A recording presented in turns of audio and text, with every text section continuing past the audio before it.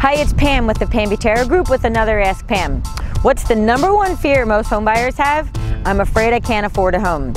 So many house hunters are petrified their entire savings account will get sucked into a black hole if they buy a house, that they will live cash poor, that their lifestyle will change, and no more vacations.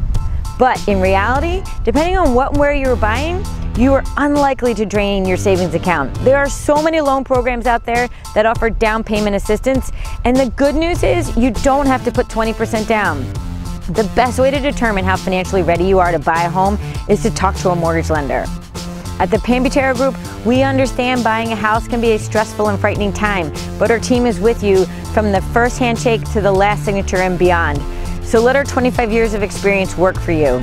If you have a question for Ask Pam, just tweet us or email me, pam at pambutera.com, the Pam Butera Group, urban to suburban.